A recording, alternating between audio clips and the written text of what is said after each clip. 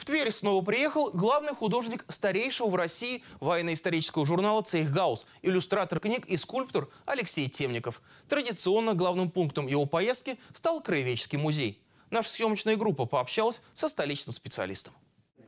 Алексей Темников уже не в первый раз приезжает в Тверь. Известный столичный художник и любитель военной истории, он специализируется на изображении кавалеристов. Среди причин такого интереса – детство, которое прошло среди лошадей, так как родители были конезаводчиками. И вот теперь он пытается научить рисовать коня детей, используя собственноручно придуманный метод ассоциации с фруктами и овощами. Так ребенку интереснее. Если ребенку рассказывать про анатомию лошади, он быстро встанет и запутается. И, и держать внимание ребенка, ну, вы сами знаете, что больше пяти минут очень тяжело.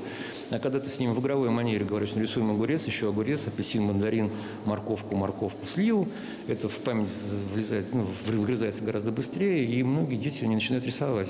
Увлечение батальными рисунками кавалеристов Алексей Темников успешно сочетает с интересом к реконструкторству. Поэтому для участников своих мастер-классов он проводит еще экскурсию по одному из залов Тверского музея, где размещена экспозиция, посвященная Отечественной войне 1812 года. Кстати, один из экспонатов, мундир конного гренадера французской гвардии, принадлежит Алексею. Да и интервью он дает вот в такой фуражной шапке. Она, кстати, несмотря на кажущуюся забавность, очень даже практична. Поскольку палатки отставали, было, ну, вообще люди спали на земле, чтобы уж совсем там лицом не падать в грязь, такая форма этой штуки, она обусловлена тем, что вот здесь шлык, он вынимается из шапки как бы, и э, служит ну, как бы подушку. То есть я ложусь не на грязь, не на траву, а вот так вот сюда, ну, либо вот на эту сторону.